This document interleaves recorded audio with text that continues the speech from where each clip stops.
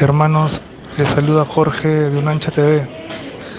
Antes que nada, eh, estoy muy agradecido por los mensajes de apoyo que he estado recibiendo eh, de todos ustedes, ¿no? del extranjero, de todo el Perú también. Como muchos saben, me encuentro hospitalado ya hace dos semanas. Vine por emergencia por un dolor y terminé internado. Eh, todavía no me han diagnosticado a ciencia cierta qué es lo que tengo, pero eh, se dice pues que es una eh, plaquetopenia severa. Aún falta hacer más exámenes para determinar por qué se produce eso, ¿no?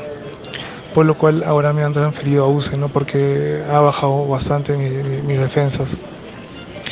quiero agradecer también de corazón a todos mis hermanos, hermanas, compañeros eh, por esta iniciativa y regalarme unos minutos en sus videos para enviar el siguiente mensaje. La salud en el Perú para nosotros, que somos las grandes mayorías, no es fácil y vemos a lo lejos las brechas y diferencias que hay solo para pocos. Claro ejemplo se acaba de dar hace unos días eh, al enterarme que eh, Pedro Castillo lo llevaron a un hospital eh, que ni siquiera tenía la, atención correspondiente.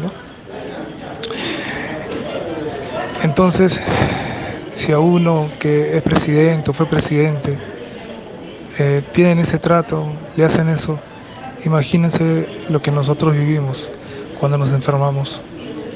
No digo esas palabras para dividir, sino para enfatizar y ser más claro en la siguiente frase, hermanos. Solo el pueblo salva al pueblo. Muchas gracias por darme un, poco de tu espacio, Timoteo, Pavel y otros compañeros eh, que seguramente pasarán este audio.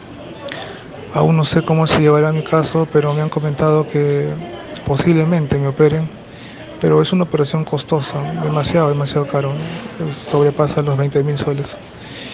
Y hay cosas que uno debe cubrir. Estoy haciendo lo posible para conseguirlo.